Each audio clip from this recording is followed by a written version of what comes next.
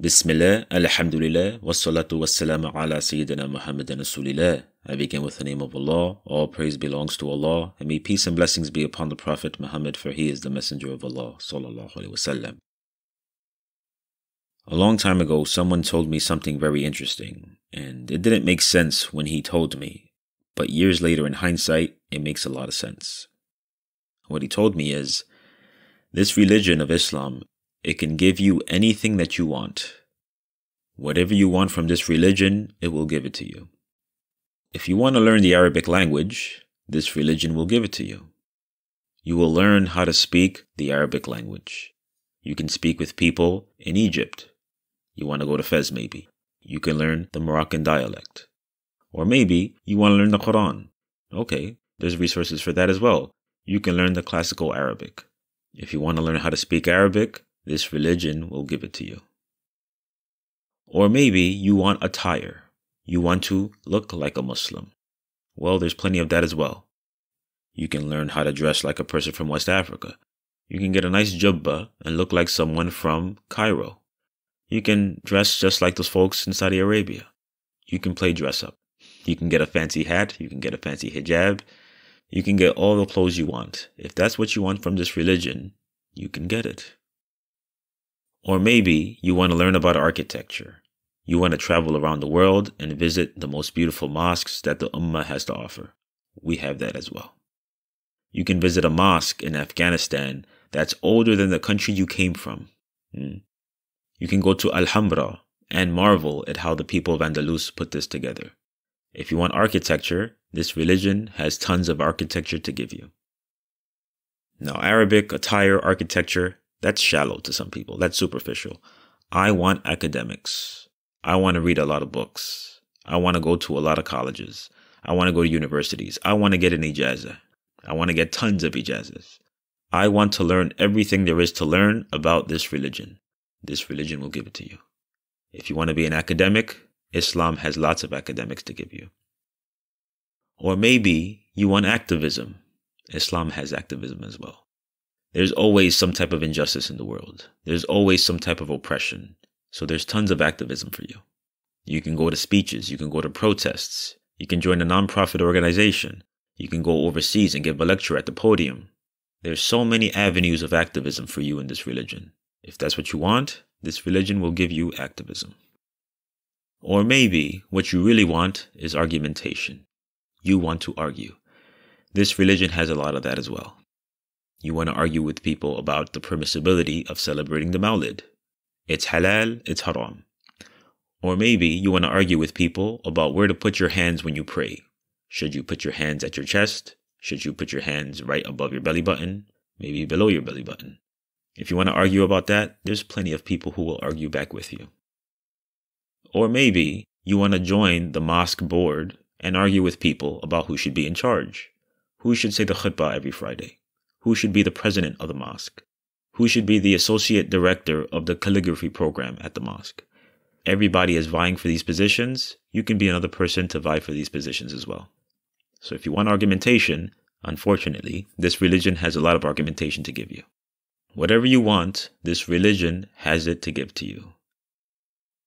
Now notice, there's Arabic, attire, architecture, academics, activism, argumentation. All these A's. With all these A's, there's one big capital A that we're forgetting about. What is that capital A? It's the most important A, and we always seem to forget about this capital A. That capital A is Allah. La ilaha illallah. You have folks who their understanding of Islam is about everything and anything but Allah subhanahu wa ta'ala. Now, I don't mean to be condescending, I don't mean to be patronizing, but look at the reality of it. You can have a person who participates in Islamic activism for years. For years. They become very prominent. Or you can have a person who becomes an expert in argumentation. They can argue with everybody. They know the points to say, they know how to humiliate them, they know how to call them bad names, they know everything about Islamic argumentation. Or they know everything about Islamic attire. You want a jubba? I know the best place to get that. You want a fancy turban? I know the best place to get that. They know everything about Islamic attire. But if you pull these people to the side and say, brother, sister, when's the last time you prayed and you actually thought about Allah subhanahu wa ta'ala while you were praying? When's the last time you prayed and you actually focused on what you were saying in the prayer? When's the last time you prayed and you actually shed a tear while you were praying? These people, if they're honest with themselves, they'll probably say, It's been a while. Some people may say, I've never done those things. They're experts in activism, in academics, in architecture, in argumentation, everything and anything except Allah subhanahu wa ta'ala. That they're not experts in. Everything else they're an expert in. And so it begs the question what is your practice of Islam all about? Is it about everything but Allah? Isn't that sad? Isn't that unfortunate? That a person can go for years and years practicing this thing called Islam, and it's about everything but Allah subhanahu wa ta'ala, God Almighty. This is not a new problem. This problem has existed for well over a thousand years. In fact, during the early Muslim generations, they realized that this is a problem. Realized that the first Muslims, for the most part, they were poor. Many of them didn't have money, many of them didn't have property, they didn't have status in society. And in many cases, by becoming Muslim, they actually lost money, they lost property, they lost status. Imagine some of the early converts to this religion among the companions, by becoming Muslim, that means that your family wants nothing to do with you. That means that your wife may leave you. That means that your children turn their backs on you because you're leaving the religion of your forefathers to become a Muslim.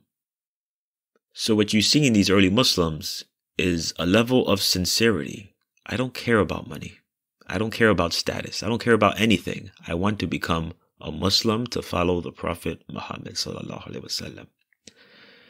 What happened over the centuries, about 100 to 200 years after the Hijrah, Islam spread pretty far and wide. It went to places that people would have never even imagined. All of a sudden, you have Muslims in Persia, you have Muslims in China, you have Muslims as far as Khorasan, which is modern day Afghanistan, even farther than that. All of a sudden, it became quite advantageous to become a Muslim. If you become a Muslim, you are now part of this prominent culture that's arising.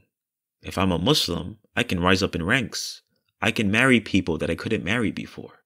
I can get zakat money given to me. I can get a job at the Islamic courthouse. And so many Muslims entered the religion because of that. Allah Ta'ala knows their true sincerity, but this is just human nature. When there's a certain culture, a certain society that's in power, everybody wants to gravitate towards that power, that success, that prominence.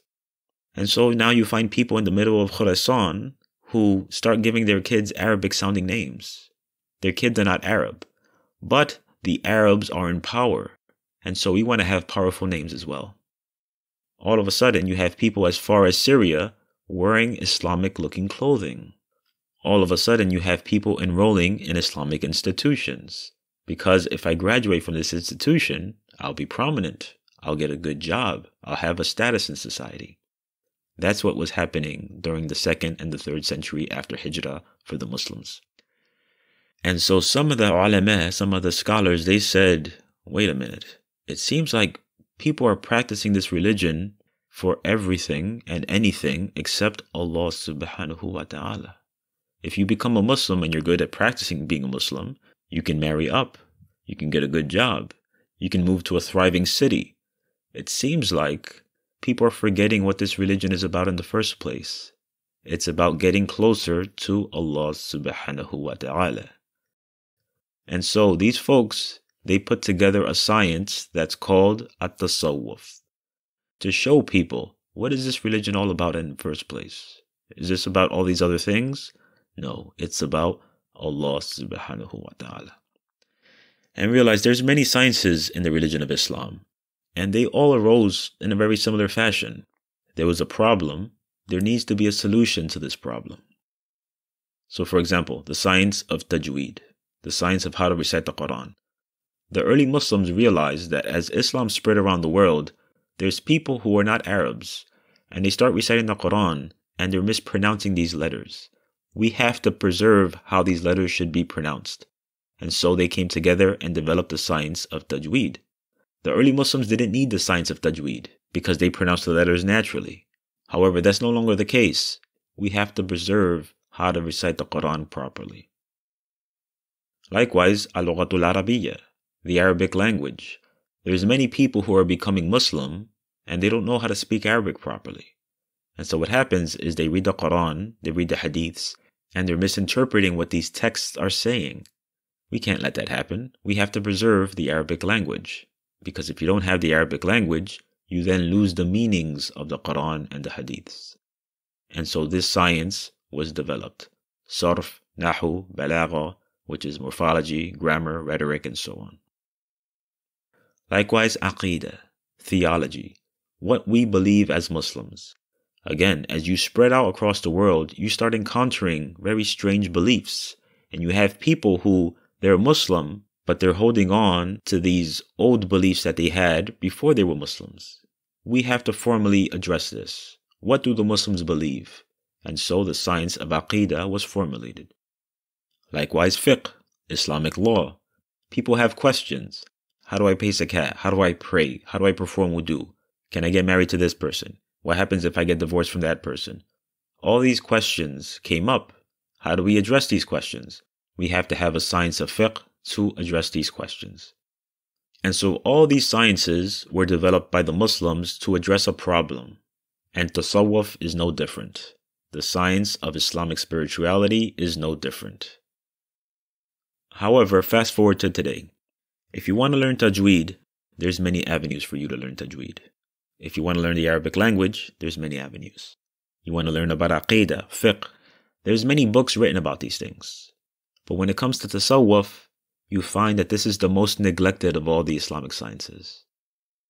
Not only is it the most neglected, it's the most misunderstood of the Islamic sciences. So my hope in this video series is to explain what the Tasawwuf is all about. The Tasawwuf is about getting closer to Allah subhanahu wa ta'ala. Now, here's the irony in the Tasawwuf today. When you talk about the Tasawwuf to people, what's the first thing that usually pops up? Maybe it's about celebrating the Mawlid. It's about celebrating the birth of the Prophet sallallahu. That's what the Tasawwuf is about. Hmm? To the average person these days, if you ask, that's what they think it's about. Or maybe it's about attending a hadra. A hadra is a circle where people come together and they make dhikr. Oftentimes there's singing, oftentimes there's drums. That's what the tasawwuf is about, the hadra. Or Tasawwuf is about singing qasidas. Qasidas are songs, usually in the Arabic language. Sometimes they're in Persian, sometimes they're in Urdu. That's what Tasawwuf is about singing qasidas, getting our children to sing nasheeds.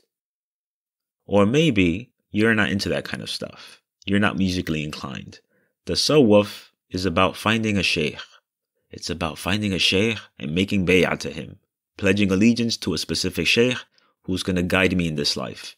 That's what the Tasawwuf is about. Some other people will say the Tasawwuf is about joining a tariqah. It's about joining a group of people who are students of the Shaykh. And we all get together every so often. We wear certain clothing, we recite certain adhkar, and that's what this is about. The Tasawwuf is about joining a tariqah.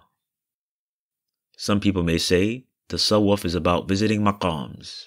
It's about going around the world and visiting special shrines and sites that are holy to us.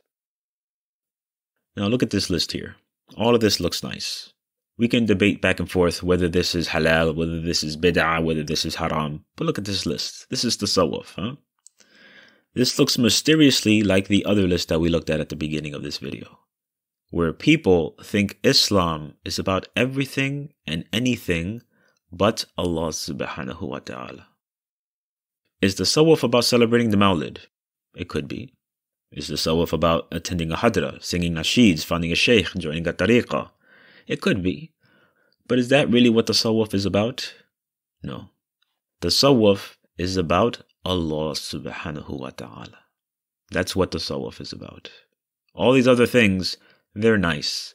But if you get lost in them and they don't get you any closer to Allah subhanahu wa ta'ala, what good are they? What good is this? Is this what the religion is about? Everything and anything except Allah subhanahu wa ta'ala? I'll end this video with this uh, little anecdote. I remember someone said that their son, he's a little bit of a bookworm. All he does is read books. He's very intellectual. And so this person said, I enrolled my son into basketball camp because, you know, he doesn't even get out. He doesn't play any sports. So maybe if he joins basketball camp, he will become a little bit more athletic, a little bit more brawny, less brain, more brawn. So he enrolled his son into basketball camp. And about two months into it, he called his son up and he said, "Hey, how's uh, how's it going?" And his son said, "It's okay. It's it's all right." And the father says, "Well, tell me what you've been doing." The son says, "Well, I learned a lot of things so far. I learned who founded basketball. I learned the early rules of basketball. I learned about how basketball evolved over the years and how new rules were implemented how the three pointer wasn't originally in the early years of basketball, and then they implemented the three pointer later on. I learned about all the different historical teams. I learned about their colors. I learned about their mascots. I learned about where they're located. I learned a lot about basketball. And the father said, Wait a minute, how's your jump shot? And the son said, Oh, I don't know. I never actually picked up a basketball. This is a silly story, but it's not so silly because this actually describes how many Muslims practice this religion.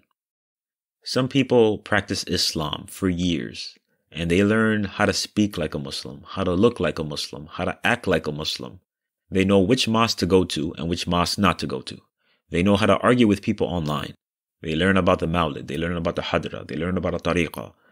They learn everything about this religion except the purpose of this religion, Allah subhanahu wa ta'ala. That's the purpose of this religion. Just like this young man goes to basketball camp and he learns everything about basketball, and yet he never picks up a basketball in the first place. Is that what the religion is about? The scholars of the Tasawwuf said no, that's not what the religion is about. This religion is about Allah subhanahu wa ta'ala. How do you get closer to Allah? We talk about Allah sometimes, but how many of us talk to Allah? That is the problem, and the science of the Tasawwuf was formulated to solve this problem that we all have. Many of us don't talk about it, but it's there. It's deep in the heart of our hearts. We don't talk about it because it's uncomfortable, it's inconvenient. I've been praying for 10 years, 20 years, and I don't even think about Allah when I pray. I've been fasting for my entire adult life, and all I get from it is thirst and hunger. Is this what the religion is? The scholars of the Tasawwuf say, no, this is not what the religion is. And so we hope to give you a taste of what the Tasawwuf is through this video series, inshallah ta'ala. اللهم صل على سيدنا محمد وعلى آله وعلى أصحابه وعلى أتباعه حتى يوم القيامة وسلم تسليما كثيرا.